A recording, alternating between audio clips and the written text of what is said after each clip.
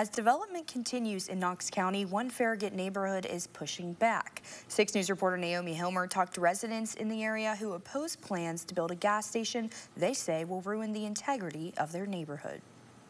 It's just really important to us as locals to try to preserve what we can.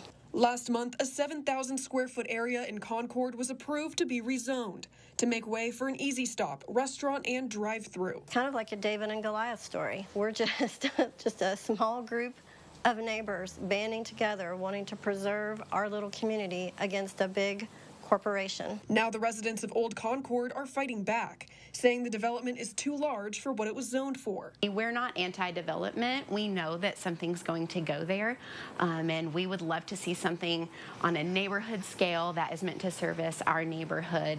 They say the building would conflict with the neighborhood's historic character, citing noise, traffic, and the possibility of unmarked graves, as the development would neighbor a historic cemetery. People are concerned about going to see the cemetery and visiting loved ones there and hearing a drive-through order. While there will be an archaeological survey to check for unmarked graves before construction, they say it could still be a safety concern. Kids learn to ride their bikes here, families go on walks, moms push their babies, so we have a lot of foot traffic and more cars is just not going to mesh well with that. Now they are trying to appeal the development before it begins. We're at a point where we're having to go before the Board of Zoning Appeals and, and just try to get that um, overturned and, you know, hopefully get something there that, that is more appropriate, that is an actual neighborhood commercial business. And they want to preserve the area they love. Knoxville is becoming so overdeveloped and we're losing our little sense of what makes Knoxville unique.